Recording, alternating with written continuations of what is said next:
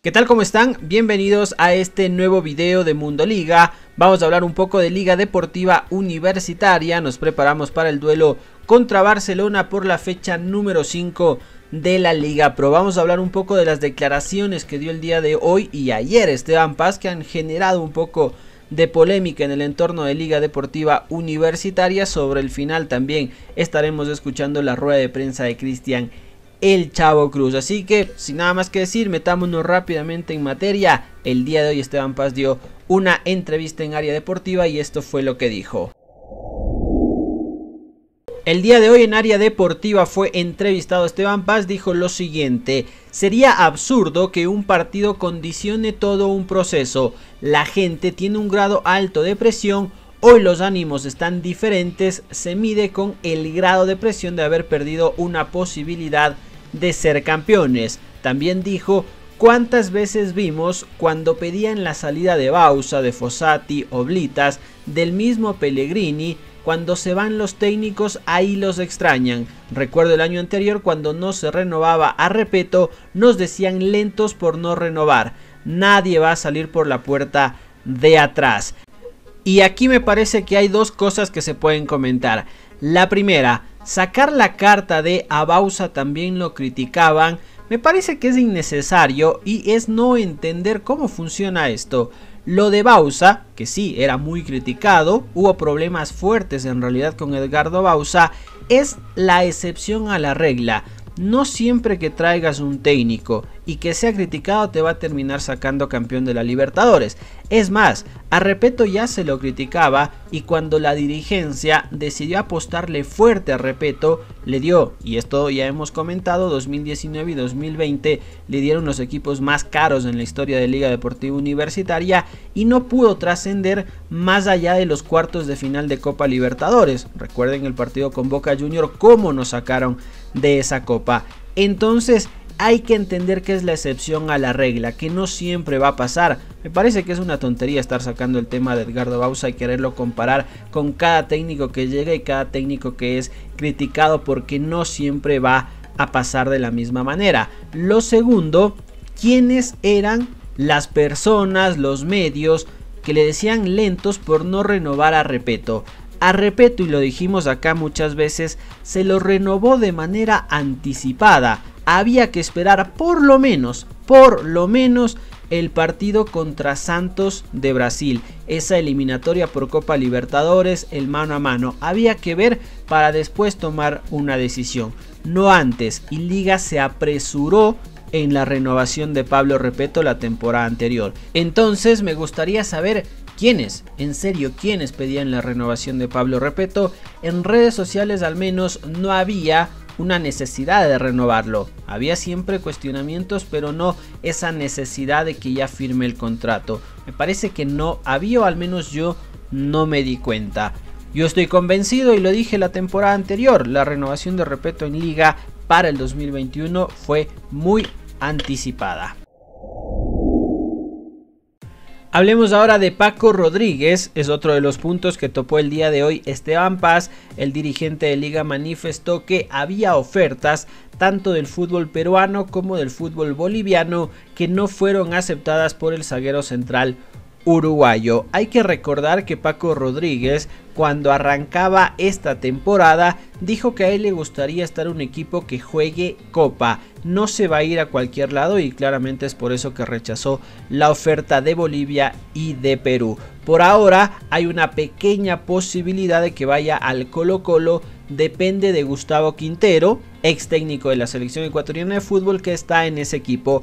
Liga lo habría ofrecido por ahora la respuesta no ha sido positiva, es decir, quieren analizar algunas otras posibilidades. La gente del Colo Colo. Podría irse allá Carlos Rodríguez si es que el equipo chileno no encuentra alguna mejor alternativa. Y me parece que Paco está en todo su derecho de decidir. Si él quiere ir a un equipo competitivo bueno deberá esperar que llegue la oferta de ese equipo competitivo. También hay que analizar qué pasa con la oferta del Peñarol y habrá que estar pendientes. Liga por ahora le sigue pagando el sueldo a un futbolista que no es tomado ni siquiera en cuenta para competir. Así que pendientes con el tema del Paco, se podría resolver en los próximos días Colo Colo una alternativa.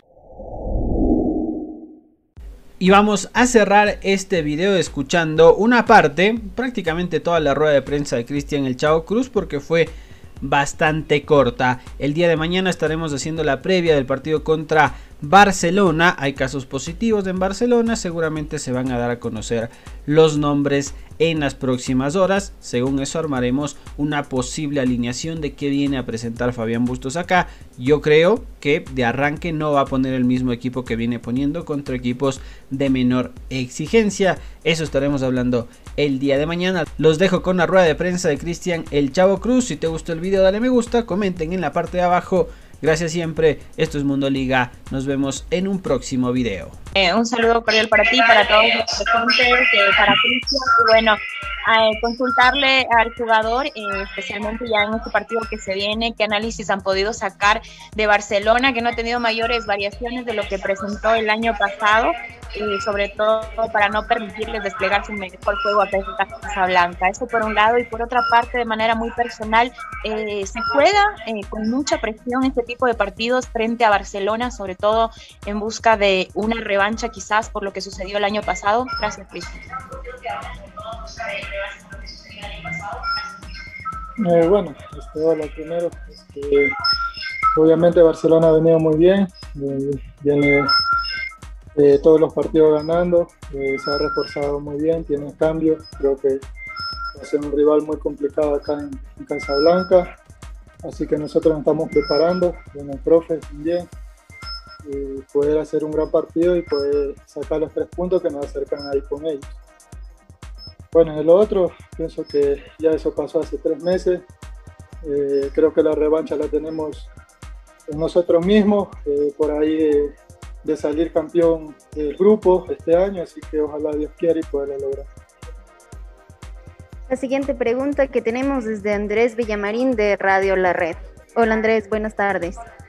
Hola Panchita, buenas tardes. Chavo, buenas tardes. Estamos también en vivo por Liga TV. Eh, Cristian, quiero consultarte sobre los duelos individuales. Eh. ¿Cómo analizas quizás eh, retroceso, salida frente a Pablo Velasco, de igual manera frente a Castillo, que hoy por hoy es uno de los mejores extremos laterales del fútbol ecuatoriano?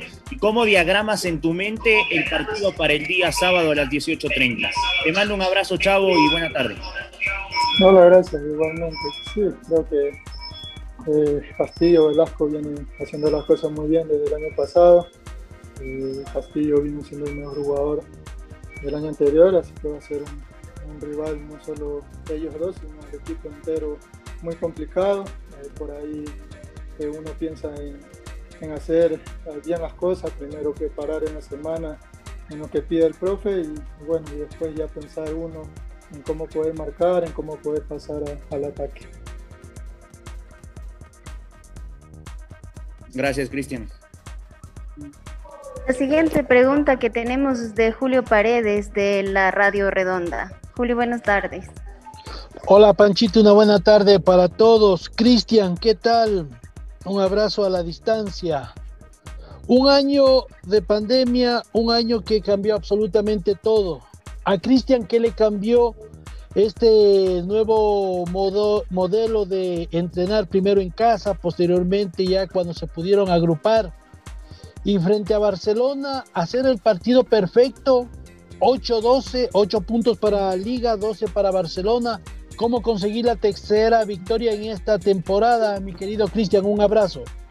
Hola, este, saludos. Bueno, este, sí, eh, por ahí el año pasado fue, muy complicado, ¿no? sabemos el tema, es por ahí entrenar en casa, no tienes todos los implementos, el espacio adecuado, pero bueno, supimos el grupo con, con cuerpo técnico por ahí entrenar eh, de la mejor manera, que por ahí creo que hicimos un buen año el año pasado, a pesar de, por ahí lo que pasó en el final. Y bueno, y, hay que seguir trabajando ahora, hay que seguir, eh, eh, poder seguir este año eh, queda primero en esta primera etapa y bueno, después se verá. Y de Barcelona, eh, por ahí, como tú dices, ¿no? es un rival muy complicado, viene ganando muy bien, eh, viene ganando los tres partidos, tiene 12 puntos, por ahí nosotros estamos convencidos de poder hacer un gran partido y por ahí poder acercarnos a, ellos y estar ahí en la pelea, ¿no? que eso va a ser importante, creo que el grupo lo sabe, está comprometido en hacer un, gran partido el día sábado.